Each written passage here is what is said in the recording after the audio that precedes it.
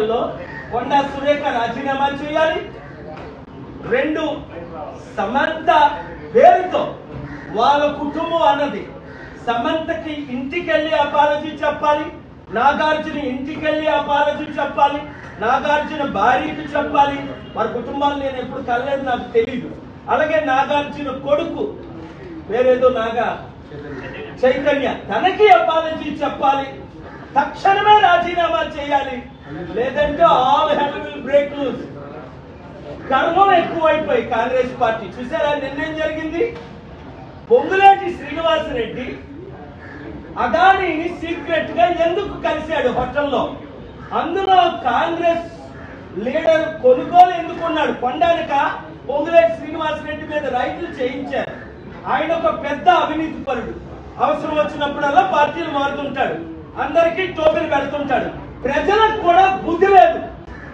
ఈ బుద్ధి లేని దొంగలకి దోచుకున్నోళ్ళకి మోసగాళ్ళకి అవినీతి పనులకే ఓట్లు వేస్తున్నారు ఐదు వేలే అంత తీసుకోవాలి ప్రజలకి బుద్ధి రావాలి గవర్నమెంట్కి బుద్ధి రావాలి. అంటే లీడర్స్ ముఖ్యంగా educated leaders youth leaders political leaders రాబోయే సర్పంచ్ ఎంపీటీసీ ఎంపీటీసీ ఎలక్షన్లో గత ఎలక్షన్లో వారికి ఎలా బుద్ధి చెప్పారో ఈ ఎలక్షన్లో కాంగ్రెస్ పార్టీకి బుద్ధి చెప్తే మన తెలుగు రాష్ట్రాలు బాగుపడతాయి. మన దేశం బాగుపడుతుంది. తెలుగు రాష్ట్రాలు చట్టాల ద్వారా మనం మారాలి మార్పు రావాలి. ఆ మార్పు రావాలంటే మనందరం కలిసి పనిచేయాలి. Thank you very much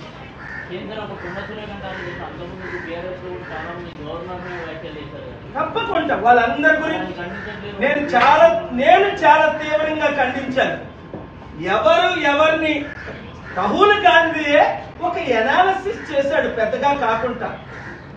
I supported I wrote a letter suo motu letter to the chief justice of India to restore Rahul Gandhiji a nine-page letter documentation with evidence that many politicians are speaking worse than Rahul Gandhiji.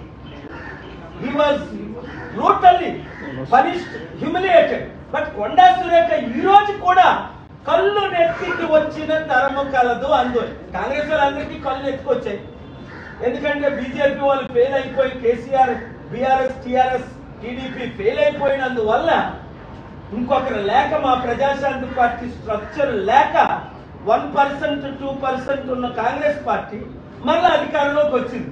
ఇప్పుడు ప్రజలకు బుద్ధి వచ్చింది. అరే బాబు మళ్ళీ కేసీఆర్ ఉంటే బాగుందని బుద్ధి లేదా మీకు? మళ్ళీ కేసీఆర్ ఎందుకు మనకి? వాళ్ళందరూ ఒకటే గుర్తించుకోండి. ఆ రెండు మూడు పార్టీలు ఆ రెండు మూడు కుటుంబాలు మన బడుగు బలహీన వర్గాలు బీసీలు ఎస్సీలు ఎస్టీలు ముస్లిం క్రిస్టియన్ తొంభై శాతం ఉన్న మనల్ని అధికారంలోకి రానివ్వలేదు. డెబ్బై ఎనిమిది సంవత్సరాలు. ఇక ముందు రానివ్వరు. కనుక మీరు కేసీఆర్ మర్చిపోండి. కేటీఆర్ని మర్చిపోండి. ఆ పార్టీని మర్చిపోండి. వాళ్ళకి రెస్ట్ ఇద్దాము పది సంవత్సరాలు. మన ప్రజాశాంతి పార్టీని గెలిపించుకుంటే ఇలాంటి పనికి మాలిన అవినీతి కుటుంబ కుల చట్ట విరుద్ధంగా మాట్లాడినోడు ఎవరు నోరిప్పి మాట్లాడు డెమోక్రసీ అంటే అర్థం ఏంటి? Freedom of speech article nineteen ఉందని పిచ్చి కుక్కలాగా వాగడమా?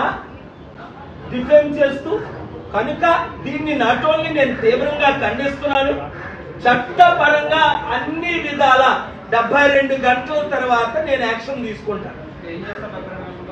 కేసు ఫైల్ చేస్తాం. ఇప్పుడు పదిహేను కేసులు ఫైల్ చేసాం పదిహేను గెలిచాం. కేసీఆర్ మీద కేసులు ఫైల్ చేసాం కామారెడ్డి కేసీఆర్ కన్నా సురేఖ మీద రాహుల్ గాంధీని ఏ విధంగా డిస్క్వాలిఫై చేశారో అలాగే డిస్క్వాలిఫై చేయమని కేసు ఫైల్ చేస్తాం. డిఫమేషన్ కేసు ఫైల్ చేస్తాం. పబ్లిక్ ఇంట్రెస్ట్ లిటిగేషన్ ఎందుకంటే ఆవిడ పబ్లిక్ ప్రాపర్టీ కనుక ఆవిడ మీద ఫైల్ చేస్తాం. అలాగే సెక్షన్స్ చాలా ఉన్నాయి. IPC four ninety five hundred ఇవన్నీ ఉన్నాయి. చదవమంటే మీకు చదువుతాను. టైం లేదు కనుక చాలా సెక్షన్స్ ఉన్నాయి. పరిస్థితిని బట్టి వీలైతే అటే ఇప్పుడు డెబ్బై రెండు గంటల తర్వాత కోర్టు సెలవులు ఉన్నాయి కనుక అక్టోబర్ పద్నాలుగు వరకు. అది మ్యాటర్ హౌస్ మోషన్ కాదు కనుక పద్నాలుగు తర్వాత తెలంగాణ హైకోర్టు జ్యూరిడిక్షన్ ఉంది. వేస్తా లేదంటే సుప్రీంకోర్టులో. రాజీనామా చేస్తే పదవి నుండి తొలగిస్తే నాకు ఒక కేసు.